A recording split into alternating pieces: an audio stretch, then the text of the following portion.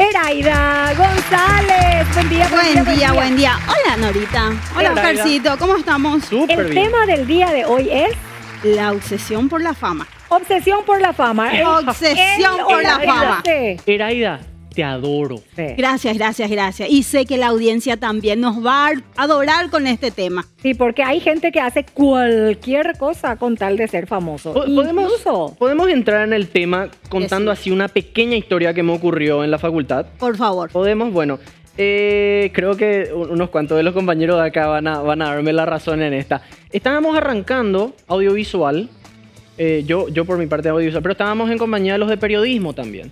En una de esas, famoso primeros días de facultad, le conocí a tus compañeros, éramos 60 en una clase. Varios. Miles éramos, porque estábamos juntas dos carreras. Ya.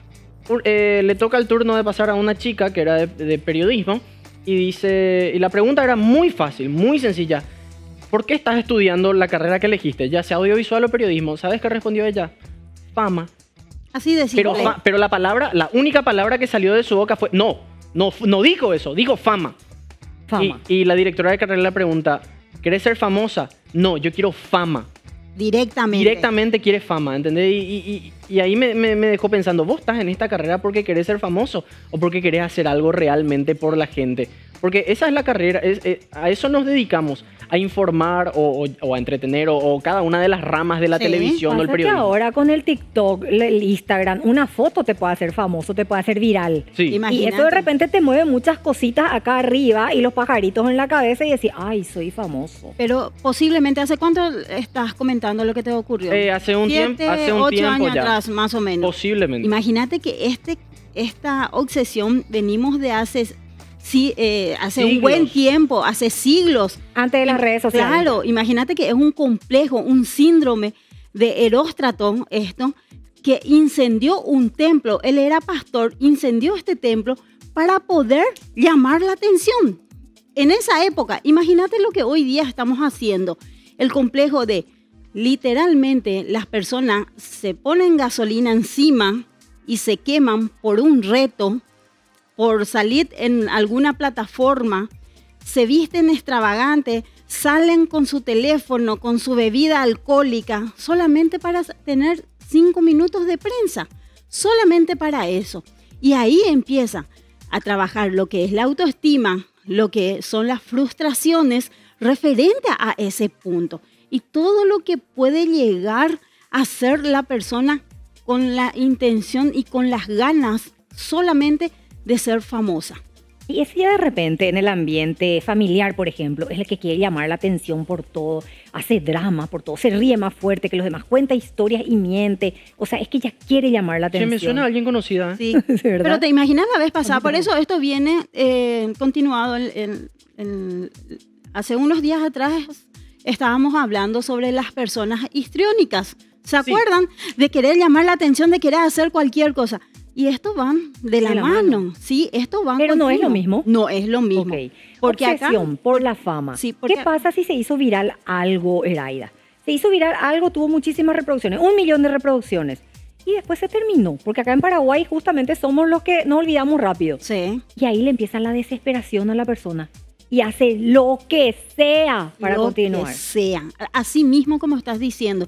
Imagínate de hacer lo que sea. Hace un tiempo atrás alguien había compartido que su hija menor de 10 años se quemó, tuvo una quemadura bastante fuerte, solamente porque no estaba teniendo los likes.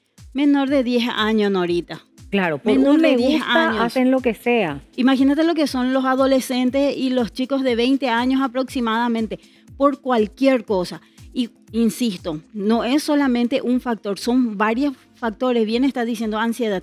Oscarcito, lo que comentaste por lo menos estaba estudiando, e, era por lo menos se estaba preparando. En una universidad. En una universidad. Eh, no, no terminó la carrera, pero vamos, vamos, a dejar ahí nomás. ok, pero la gran mayoría, ah, quiero ser como fulana, pero esa fulana o ese fulano no hizo absolutamente nada, no estudió, no trabajó.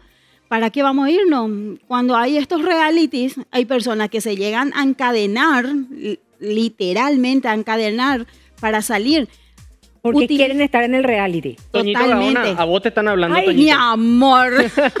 no, mi la vida. adoramos, la adoramos a Toñito, le mandamos un saludo. Obviamente, un beso enorme a mi niño. Pero hay muchas personas que de repente buscan cualquier tipo de situación, cualquier tipo de estrategia, ya sea retos virales, por el like, por el me gusta, por el em- encanta, o por lo menos para que sean escrachados. Porque todo, es todo una planificación para que se les escrache y obviamente surjan otra vez. Bueno, ¿cómo nos damos cuenta? Está la familia y tengo una hija que de repente ya es criatura y usa mucha malla, mucho mostrando cola y ya quiere. No, pero con este sexy yo tengo más me gusta, pero con este tal cosa. O que de repente hace locuras para tener más me gusta. ¿Cómo? ¿Cuál es el límite? principalmente que empecemos a darnos cuenta, mamá, papá, tutores, hasta dónde está llegando el hijo, la hija. Si de repente esa, esa niña, ese niño, se pasa mucho tiempo enfrente al espejo, grabándose, encerrada en la pieza. Cuidado, hay que ir viendo, observando, hay que ir trabajando, porque hay una sociedad que te juega en contra. El teléfono celular que te juega en contra. Como, como padres, se tienen que ir revisando, trabajando, no solamente quedarse, ay, mi hija está con el celular, ¿qué está haciendo con el celular? ¿Qué está haciendo por un like o por un, un me gusta o lo que sea? Entonces es poder observarle si está, ¿Cuántos seguidores tiene? cuántos seguidores tiene. No, eso ya más bien si es que está comiendo ahora, si es que no está dejando de comer para hacer algún reto, si es que está durmiendo. Los jóvenes tienen que dormir por lo menos siete horas cuando son adultos ya de 18 para arriba.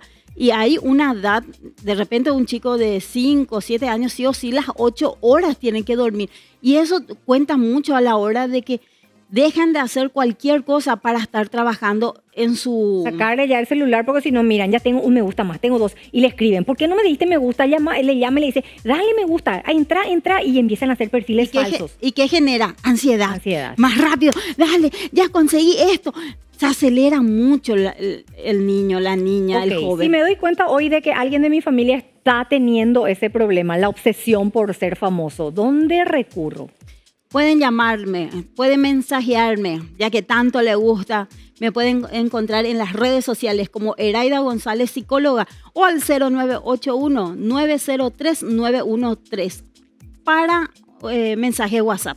O sea, es para tratar, es un tema para, Para, ir al tratar totalmente cualquier situación que salga fuera del lugar es momento ya de Síndrome de Eróstrato. Eróstrato, así se Ah, eh, así se- complejo o síndrome, porque es un conjunto de características Ahí que está se hace. justamente una representación del pastor que quemó un templo mismo. para llamar la atención. Y estamos hablando hace siglos de esto. Imagínate lo que ahora hacemos solamente para ser famosos. Cualquier cosa por la fama. Cualquier cosa. Y hacemos daño a los demás también de repente y a nosotros mismos en primer lugar. Totalmente. Eraida, muchísimas gracias por la presencia y evidentemente un tema más que interesante. Yo sé que muchos se sintieron ¿Verdad que sí? identificados. sí. Gracias a ustedes. Gracias, Eraida.